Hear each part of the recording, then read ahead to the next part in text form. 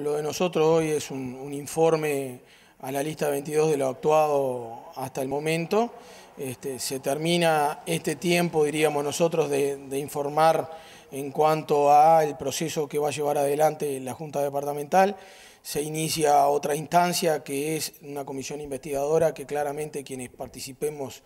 de esa comisión vamos a tener la limitante de no poder hacer manifestaciones públicas en cuanto a lo que se está trabajando,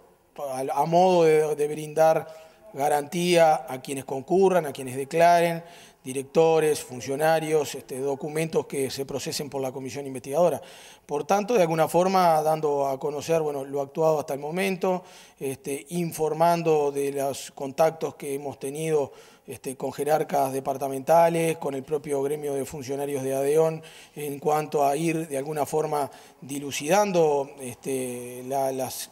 dudas que se van generando en, este sentido y este, iniciando a partir de mañana desde la Junta Departamental otra etapa que es la, lo que yo creo que sí la gente hoy está de alguna forma expectante, saber si esto se trata de un hecho puntual, de un hecho único, exclusivo en la Intendencia Departamental, esta denuncia puntual de ADEON, este, e, ese proceso va a estar este, de alguna forma ligado al trabajo que va a llevar adelante la comisión investigadora